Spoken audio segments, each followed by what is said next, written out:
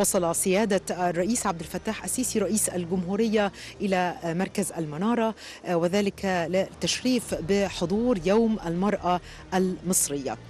عودنا سيادة الرئيس كل عام للمشاركة في هذا اليوم وتكريم الكثير من السيدات والرموز المختلفة الناجحة في المجالات المختلفة. هذا بالإضافة طبعا لتكريم الأم المثالية لهذا العام وهي مسابقة تنظمها وزارة التضامن الاجتماعي لها شروط عدة.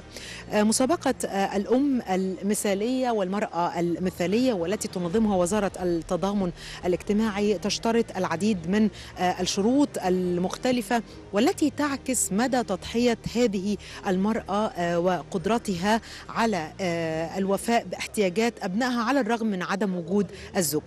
الآن يلتقط سيادة الرئيس عبد الفتاح السيسي والسيدة حرمو صورة تذكارية مع المكرمين وأيضا مع الأم المثالية المكرمين هذا العام. مكرمين في مجالات مختلفة استطاعوا أن يحققوا العديد من الإنجازات على مدى سنوات عملهم وأيضا الأم المثالية استطاعت أن تحقق انجازا لأسرتها، استطاعت أن تنجو بأسرتها وتحقق بها النجاح وتحقق لأبنائها دائما النجاح والتفوق.